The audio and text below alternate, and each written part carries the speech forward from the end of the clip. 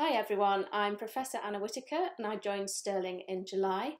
Um, and I'm going to be supervising some projects on the Masters. I'm sorry I can't be there today because I'm on leave, um, so just let me tell you a bit about the projects that I'll be offering. So I'm interested in stress and how this relates to people's behaviour and their health as they age. And one of the things that I do in my laboratory is measure people's responses to short term or acute psychological stress. So we measure their heart rate and their blood pressure and a stress hormone called cortisol, which you can um, look at in saliva.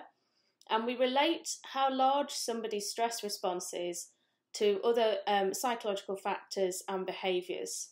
Um, so, some of the projects that I've done before are relating people's stress responses um, to factors like obesity or depression, or self reported health. So you can see how those would influence people's health as they age.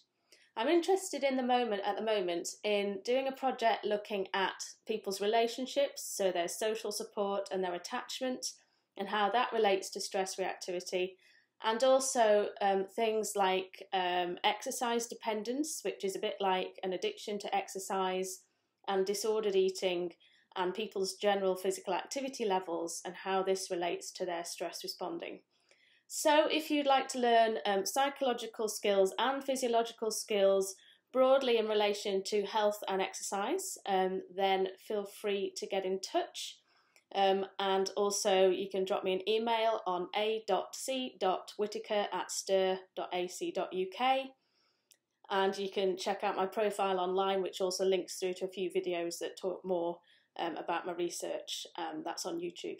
Okay, thanks for listening.